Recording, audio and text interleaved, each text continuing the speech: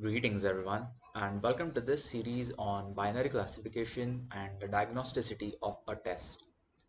Imagine that a patient recently started to show COVID-19 symptoms. Naturally, we as physicians are worried and decide to perform a diagnostic test.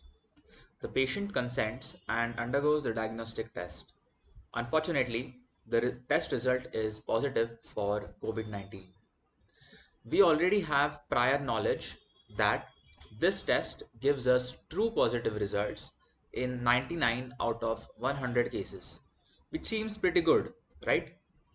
Thus, we conclude that we have contracted the virus or the patient has contracted the virus with a probability of 99%.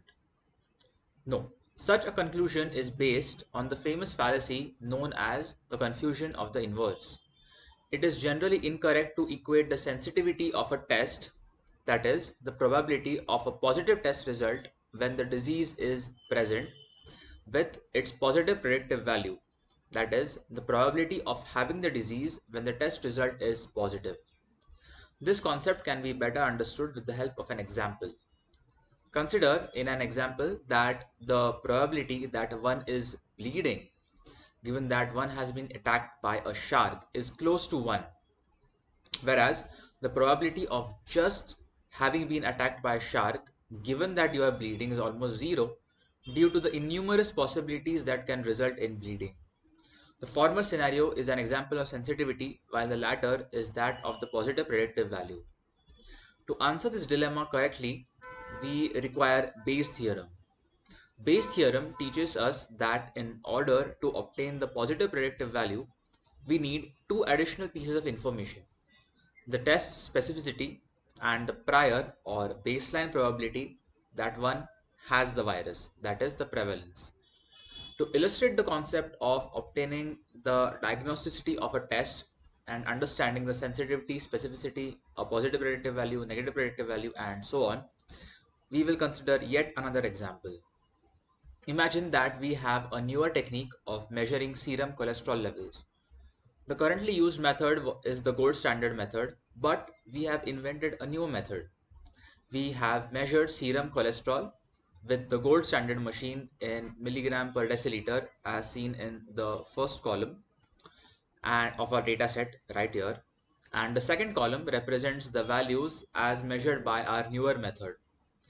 We uh, have used a cutoff cholesterol uh, value of 200 milligrams per deciliter and we will now set out uh, to explore the diagnosticity of our newer method.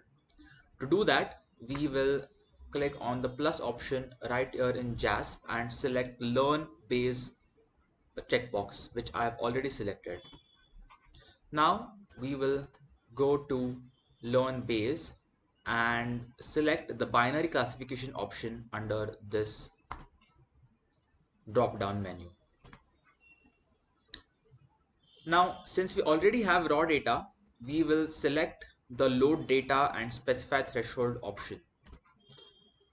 However, if we did not have raw data and directly had values for true positives, false positives, false negatives and true negatives, we could select the uncertain estimates option and add these values in the data boxes right here. So true positive, false positive, false negative and true negative. If we had prior knowledge about the prevalence of hypercholesterolemia, the sensitivity and specificity of the test, we could enter it in this priors option. In our case, we will select the load data and specify threshold option as already selected here and add our data into their respective boxes. So serum cholesterol levels into the marker option and the result into the binary classification, which as you can see is positive or negative. We will also put in our value of 200 milligrams per deciliter into the test threshold option because that indeed is our test threshold of detecting hypercholesterolemia. Again, if we had prior knowledge about the prevalence and sensitivity specificity, we would uh, put in these values right here, but we will leave, uh, leave uh, them at their default options as uh, selected by the software. Now the software has run its analysis and will provide us with the output as we can see with numerous values right here. That's it for this video. Thanks for watching and I'll see you in the next video.